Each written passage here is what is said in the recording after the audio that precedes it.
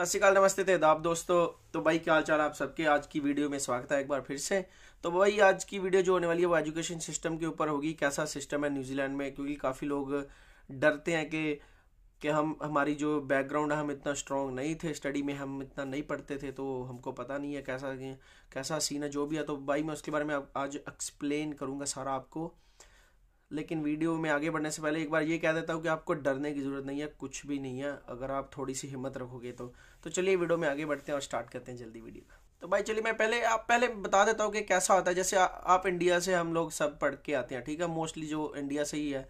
तो क्या होता है कि वहाँ में हम वहाँ पे हम थेरेटिकल वर्क बहुत ज़्यादा करते हैं हम टीचर को सुनते हैं वो स्कूल लेवल पे। लेकिन जब आप इंजीनियरिंग लेवल पे या बड़े लेवल पे डिग्री लेवल पे जाते हो तो क्या होता है? वहाँ पे भी आप वहाँ पे क्या होता है? आपको प्रोजेक्ट्स मिलते हैं असाइनमेंट्स मिलती हैं तो वैसा ही सिस्टम यहाँ भी है। दोस्तों, कोई ऐसा डिफरेंस नहीं है कि यहाँ पे कोई अलग ही है दुनिया के, कोई मार्स से कोई टीचर आ रहे हैं पढ़ाने में और स्टडी डिफरेंट है, ऐसा कुछ भी नहीं है। काफ़ी सिमिलैरिटीज़ है, लेकिन यह है कि उसका वे एक डिफरेंट है, ठीक है? जैसे वहाँ पे आप ब्लैक बोर्ड पे पढ़ाते हैं। स्टिल जाओ इंजीनियरिंग ये ये वो सारा ब्लैक बोर्ड पे पढ़ाते हैं। यहाँ पे भी बोर्ड होते हैं वाइट बोर्ड्स होते हैं, जैसे इंडिया में भी होते हैं।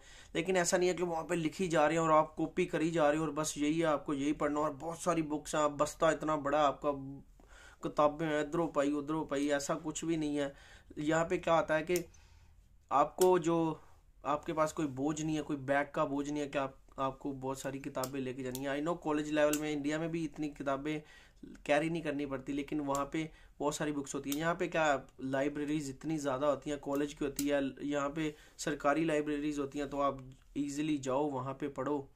जो भी आपको चाहिए, अपना बुक ले आओ, हफ़्ता उसको रीड करो, फिर वापस कर दो जब आपकी ज़रूरत पूरी हो जाए। तो ये तो ये मेजर डिफरेंस होगा कि इंडिया और जो न्यूजीलैंड का है मतलब मेजर डिफरेंस नहीं है, कुछ ऐसा नहीं है, जो जो कॉलेज लेवल में पढ़े हैं इंडिया में, जो तो प्लस टू लेवल में उनका थोड़ा सा डिफरेंस सीन होगा, लेकिन जो कॉलेज लेवल में पढ़े या डिग्रीज की हैं, जिन्होंने, उनको पता होगा कैसा असाइनमेंट्स होती हैं, ये वो प्रोजेक्ट्स होते हैं। वैसा ही यहाँ पे भी होता है, बस उसको करने का एक तरीका थोड़ा सा अलग है। तो चलिए मैं आपको बताता हूँ अभी कि कैसा कैसा होता है इसमें क्या क्या चीज़ें होती है जो आपको करनी।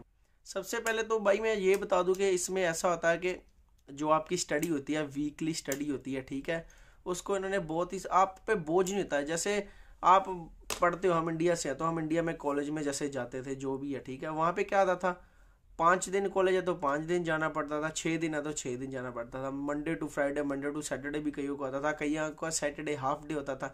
लेकिन यहाँ पे ऐसा नहीं है। ये लोग हैं ना, जो जो बाहर की कंट्रीज़ हैं, जो सरकारें हैं, ये लोग ना वर्क और लाइफ का एक बैलेंस बना के रखना चाहती है हर बंदे का। वो कहते हैं कि everybody deserve work life balance तो उसमें क्या होता है, ऐसा नहीं है कि आपकी पाँच दिन क्लास और पढ़ाई जा रहे हैं, पढ़ाई जा रहे हैं बहुत ज़्यादा, और आप काम भी नहीं कर पाओगे अगर आपकी ज़रूरत है। तो ये बहुत ही ज़्यादा सोचते हैं स्पेशली जो स्टूडेंट्स होते हैं उनके लिए। तो इन्होंने क्या बेसिकली यही होता है कि बीस घंटे की आपको स्टडी करनी पड़ती है एक वीक में। तो क्या होता है, जैसे इन्होंने लाइफ को ना फोर्टी आवर्स में कह लीजिए बैलेंस किया हुआ है, कि अगर आप फुल टाइम हो तो आप फोर्टी आवर्स काम करते हो ज़्यादा करना आपकी इच्छा होती है ठीक है? लेकिन वो एक हेल्दी जिसको लाइफ बोलते हैं। और क्या होता है स्टूडेंट्स um, के लिए क्या फिर हो जाता है कि आप ट्वेंटी आवर्स काम कर लो और ट्वेंटी आवर्स आप स्टडी कर लो। तो इन्होंने इसको ऐसे आ, क्या डिफ्रेंशिएट किया है कि आप ताकि फोर्टी आवर्स से ज़्यादा आपको बोझ ना पड़े आपकी लाइफ में। क्योंकि अगर आप फोर्टी आवर्स कर रहे हो विच मीन्स वो कहते हैं कि आप फोर्टी आवर्स पाँच दिन में कंप्लीट होते हैं और दो दिन आपको अब जो वीकेंड होता है या दो दिन कोई भी आपको ऑफ़ चाहिए होता है, ताकि आप अपनी मनपसंद एक्टिविटीज़ कर पाओ, कुछ कर पाओ, ताकि आप नेक्स्ट वीक के लिए रिफ्रेश हो जाए। तो ये सीन होता है, इन्होंने बहुत ही ज़्यादा अच्छा किया हुआ है तो अभी मैं बताता हूँ। तो मोस्टली जब मैं पढ़ता था तो तीन दिन क्लास होती थी, जैसे एक एक्चुअली ढाई दिन क्लास होती थी, लेकिन तीन दिन नहीं जाना पड़ता था तो मैं तीन दिन बोल रहा हूँ कि दो दिन फुल क्लास होती थी और एक दिन हाफ़ होती थी। तो मतलब आठ घंटे घंटे की क्लास एक दिन, आठ घंटे की, दूसरे दिन सोलह और तीसरे दिन हाफ़ डे होता था तो ढाई दिन में क्लास हो जाती लेकिन अब बहुत सारे कॉलेजेस क्या कर रहे हैं, यहाँ पे पाँच दिन में इसको डिवाइड कर रहे हैं तो कैसे करते हैं कि आप चार चार घंटे की क्लास के लिए जाते हो? कईयों का मॉर्निंग सेशन होता है, कईयों का इवनिंग होता है जैसे मैं बता रहा हूँ कि मोस्टली अभी कॉलेजेस काफ़ी कॉलेजेस ने ऐसे किया यूनिवर्सिटीज़ ने भी किया कि आप पाँच दिन जा रहे हो, जैसे Monday Tuesday Monday to Friday आप जा रहे हो मॉर्निंग आपका सेशन है। कईयों का क्या होता है आफ्टरनून सेशन होता है सबका। कईयों का होता है दो दिन मॉर्निंग को चले गए और दो दिन आफ्टरनून को चले गए, ऐसे होता है। तो लेकिन at the end of the day आप बीस घंटे ही आप करते हो एक वीक में।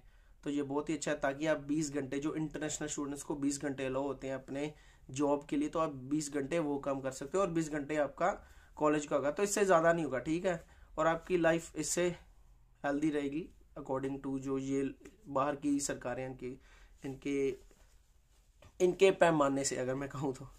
तो दोस्तों, ये तो पहले बता दिया मैंने आपको कि तीन दिन क्लास होगी या पाँच दिन क्लास होगी ट्वेंटी आवर्स ही आपको कॉलेज जाना पड़ेगा, उससे ज़्यादा नहीं होता। उस तो दोस्तों, मैंने जो न्यूजीलैंड की स्टडीज़ हैं, जो स्टूडेंट्स के लिए इंटरनेशनल स्टूडेंट्स के लिए बेसिकली क्योंकि लोकल स्टूडेंट्स का क्या सीन है, इतना मेरे को पता नहीं है, लेकिन जो इंटरनेशनल स्टूडेंट्स के लिए, मैंने जो मैंने पढ़ा है, जैसे मैंने पढ़ा था, उसको मैं चार पार्ट्स में डिवाइड किया, और ऐसा ही मोस्टली होता है। चार पार्ट्स क्या होते हैं, आपकी स्टडीज़ में एक तो असाइनमेंट्स होती हैं, एक आपकी प्रेजेंटेशन होती हैं, एक प्रोजेक्ट होता है और लास्ट में एग्ज़ाम होता है। जैसे किसी भी कंट्री में जब आप पढ़ते हो तो एंड में एग्ज़ाम होता है। और अब मैं बता दूँ आपको असाइनमेंट्स का सीन होता है। यहाँ पे दोस्तों मेन दो चीज़ें, कह लीजिए, दो चीज़ों का कंबाइन मिक्सचर होता है जिससे आप पास होते हो। एक एग्ज़ाम का रिज़ल्ट और एक जो आपका असाइनमेंट प्रेजेंटेशन प्रोजेक्ट एक सेक्टर ये हो जाता है और एक आपका एग्ज़ाम हो जाता है।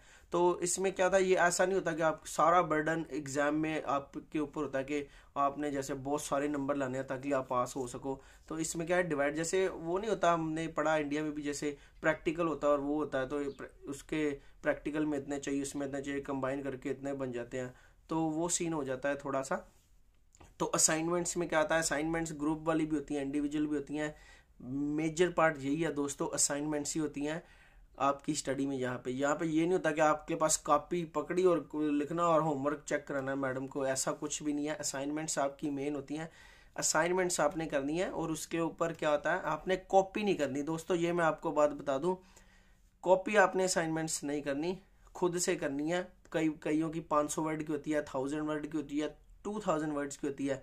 लेकिन क्या आता है? ये आपने एम एस वर्ड में बनानी होती है और खुद लिखना होता है इसको। तो प्लीज़ आप अगर कॉपी करोगे ना तो सिस्टम होता है, ये क्या होता है, आपने ये नहीं है कि इसकी हार्ड कॉपी ऐसे चेक करनी है, क्या होता है इसमें? सॉफ्टवेयर होता है एक। तो आपने क्या करना था उसका सॉफ्टवेयर पे जो जो मतलब ऑनलाइन एक साइट होती है, आपने उस पर जाना होता है, उस पर आपका अकाउंट वाउंट बनता है तो आपने वहाँ पर सबमिशन करनी होती है। तो वो सारा ना सिस्टम एक सेट किया होता है। तो अगर आपने कॉपी किया हो ना तो वो आ, वो आ जाता है कि आपने इतना कॉपी किया और उसको प्लेजरिज्म बोलते हैं ठीक है?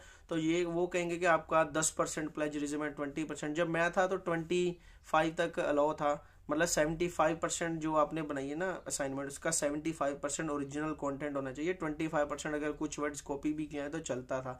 कई कॉलेजेस में दस परसेंट ही है सिर्फ़ कईयों में बीस परसेंट तो ये डिपेंड करता है। इसीलिए मैं सलाह देता हूँ कि आप सबने असाइनमेंट्स अपनी खुद करनी है।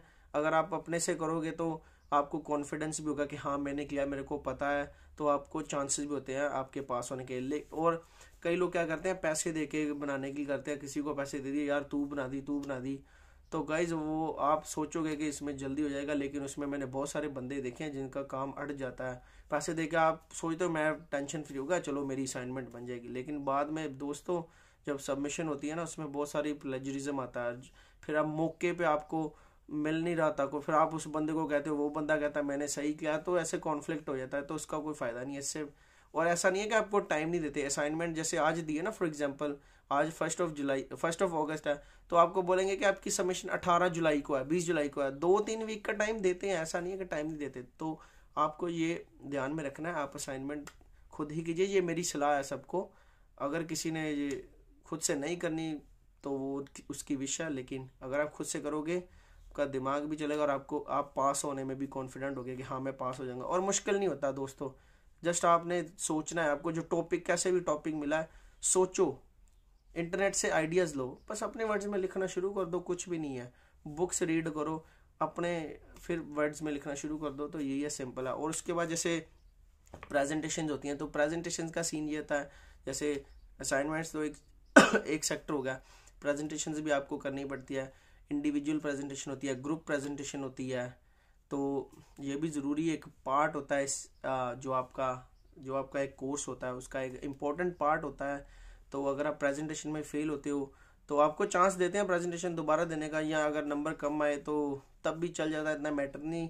इतना ज़्यादा मैटर करता है, लेकिन बहुत ज़्यादा नहीं, जैसे कि असाइनमेंट्स करते हैं, क्योंकि असाइनमेंट जैसे मैंने बोला, ये एक पार्ट है असाइनमेंट प्रेजेंटेशन और प्रोजेक्ट का और एग्ज़ाम का एक पार्ट है। और उसके बाद प्रोजेक्ट आते हैं। तो प्रोजेक्ट क्या कहते हैं, आपकी स्टडी के स्टडी पे डिपेंड करता है कि आपकी स्टडी कौन सी है। अगर आपकी स्टडी मतलब हेल्थ केयर किया कि लॉ किया कि आईटी किया डिपेंड करेगा। आई डोंट नो कैसे। तो इसमें क्या होगा, कई ग्रुप प्रोजेक्ट्स होंगे, कई इंडिविजुअल भी होंगे। तो अगर आप ग्रुप में होता है तो इजी हो जाता है, क्योंकि आप डिवाइड कर लेते हो कि यार इसके ओके ये ग्रुप इसका प्रोजेक्ट है हम इसको डिवाइड करते हैं तू ये पार्ट कर तू ये कर तो उसमें काफ़ी सारा बर्डन आप बंदे के दिमाग से निकल जाता है। राधा दन अगर एक ही बंदे को एक प्रोजेक्ट दिया जाए तो वो उस यू you नो know, तो बहुत सारा बर्डन हो जाता है कि एक बंदे को बहुत सारा काम करना पड़ता है। इंस्टेड ऑफ़ जब आप चार लोग होते हो तो ईजी हो जाता है।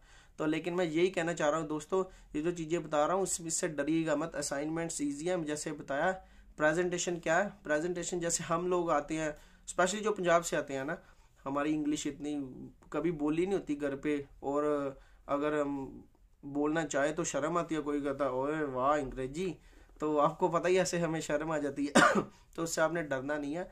यहाँ पे जब आप आ जाओ ना इंडिया से एक बार निकल आए, सोचोगे आपको कोई नहीं देख रहा है इंग्लिश बोलनी बोलनी है। प्रेजेंटेशन में आपकी प्रेजेंटेशन मैटर करती है। एक तो पावर पॉइंट की होती है। आपने ऐसे पीछे देख के बोला कि ये ये ये, ऐसे है। ठीक है?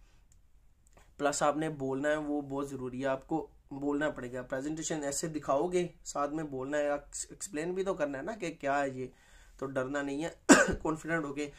एक एक इसका ट्रिक बता देता हूँ, अगर आपको डर लगता है कॉन्फिडेंस नहीं आता है तो आप क्लास में ऐसे ऐसे देख रहे हो ना, किसी की आँखों में आँखें मत डालो। बस यहाँ पे उस ऊपर से अपना, आप ऐसे करते जाओ, ऐसे करते हो आँखों में आँखें मत डालो, ठीक है? जैसे ये देखो, अभी मेरी आँखें आपकी आँखों में नहीं है, लेकिन ये देखिए, अब मैं आपकी तरफ़ देख रहा हूँ। तो ये ये मैंने ट्रिक सीखी है बहुत ही हेल्पफुल रही है मेरे लिए तो मैं आपको भी सलाह देता हूँ, ये ट्रिक आपके लिए अच्छी है। और लास्ट में आ जाते हैं, दोस्तों एग्ज़ाम्स आ जाते हैं। एग्ज़ाम से भी डरने की ज़रूरत नहीं है। इंडिया में आपने देखा होगा, काफ़ी क्लासेस टीचर्स बता देते थे कि ये पार्ट इम्पोर्टेंट है, ये आएगा ये आएगा तो लेकिन हंड्रेड परसेंट तो किसी को भी नहीं शोर होता।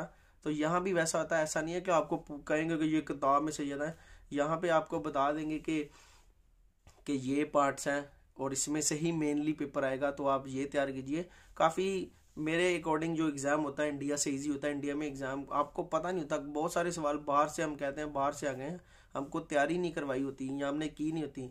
लेकिन यहाँ पे ऐसा नहीं होता दोस्तों, यहाँ पे आपको बताया जाएगा कि ये पार्ट है, इसमें से ज़्यादा आएगा। या कह लीजिए एक्सक्यूज़ मी जैसे कह लीजिए कि अगर दस सवाल का एग्ज़ाम है फॉर एग्ज़ाम्पल तो आपको बीस या पच्चीस सवाल बता देंगे कि ये बीस पच्चीस तैयार करो, इसमें से पेपर आएगा, ऐसा सीन हो जाता है। तो देखिए कितना ईजी हो जाता है। तो इससे आपको डरने की ज़रूरत नहीं है दोस्तों। एग्ज़ाम भी ईजी हो जाता है। सबसे मेजर मैं रखूँगा असाइनमेंट को। प्रेजेंटेशन और project also part of this whole segment जो कि असाइनमेंट कहा जाता है। और आपने असाइनमेंट खुद ही करनी है, किसी से नहीं करवानी, ये मेरी सलाह है। प्रेजेंटेशन और जो प्रोजेक्ट और एग्ज़ाम लास्ट में, दोस्तों, मुश्किल बिल्कुल भी नहीं है। मुश्किल बिल्कुल भी नहीं है। अगर आपने प्लस टू तक की है इंडिया से तो बारह क्लास पास ही की है ना? ऐसा तो नहीं है कि पास ही नहीं की। चाहे कम नंबर से पास की हो मेन मकसद यहाँ पे आप पास करना। यहाँ पे भी ऐसा ऐसा नहीं है अगर आपके नाइन्टी परसेंट नंबर आए तो आपको क्या कहते हैं, जल्दी पीआर मिल जाएगी। ऐसा कोई सीन नहीं है। पास होना ये मकसद है। और पास आप तब होगे जब आप कॉन्फिडेंट होंगे। तो कॉन्फिडेंट अगर आप तब होंगे जब आपको थोड़ी नॉलेज होगी, जब आप टाइम दोगे स्टडी को भी। तो वही बोला स्टार्टिंग में जैसे वर्क और जो जो अपना स्टडी ये लाइफ बैलेंस बहुत ही ज़रूरी है। स्टडीज़ को भी टाइम दे वर्क को भी टाइम दे। तो बहुत ज़्यादा डरने की ज़रूरत नहीं है। दोस्तों, ये मैंने आपको इसके बारे में सारा बता दिया। अगर मेरे से कोई पॉइंट छूट रहा है तो मैं भी देख लेता हूँ। और हाँ एक सलाह देना चाहूँगा, जैसे ग्रुप स्टडीज़ भी आप कीजिए। जैसे आपका फॉर एग्जांपल कोई दिन आपका भी वर्क नहीं है कॉलेज से भी छुट्टी है और आपका दोस्त का भी है तो आप जाइए डिस्कशन कीजिए कोई प्रोजेक्ट है एक दूसरे की हेल्प कीजिए किसी भी चीज़ में एक दूसरे की हेल्प कीजिए ग्रुप स्टडीज़ कीजिए इसमें बहुत ही फ़ायदा होता है मैंने भी की है। आ, आपको कुछ नहीं समझ आता आपका दोस्त बता देता है या आप किसी को शेयर कर देते हो तो ये चीज़ें बहुत ही हेल्पफुल रहेंगी। और कुछ रह तो नहीं रहा। नहीं दोस्तों अभी तक तो अभी तक तो यही था।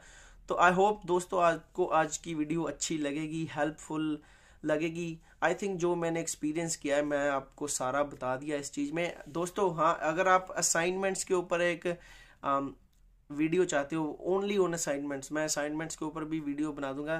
तो दोस्तों, इस वीडियो को आपको 200 लाइक तक पहुंचाना। आई नो 200 लाइक काफ़ी है मेरे जैसे यूट्यूबर के लिए एट द मोमेंट लेकिन दोस्तों चलो 150 150 लाइक्स आप करवा दो इस वीडियो को तो असाइनमेंट के ऊपर मैं डेफिनेटली एक वीडियो बनाऊँगा। प्रॉपर डिटेल्ड थोरो जो वीडियो होगी और जैसे बताया कि असाइनमेंट मेजर पार्ट होगा आपकी ज़िंदगी का जब आप स्टूडेंट हो यहाँ पे तो बहुत ही हेल्पफुल होगी। तो दोस्तों, मेरी तरफ़ से यही है। अगर आपको ये वीडियो पसंद आई है प्लीज़ इसको शेयर कीजिए, क्योंकि लाइक तो आपने करना ही है। डेढ़ सौ असाइनमेंट के लिए वो तो आपको करना पड़ेगा। तो शेयर कीजिए अपने फ्रेंड्स फैमिली के साथ जो न्यूजीलैंड में इंटरेस्टेड है। Till then good bye see